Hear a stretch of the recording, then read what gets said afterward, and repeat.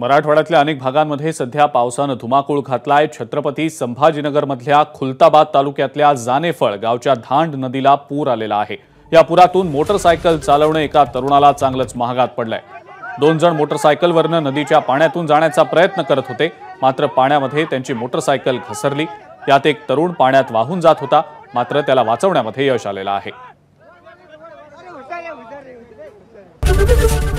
ABP माझा. उघडा डोळे बघा नीट।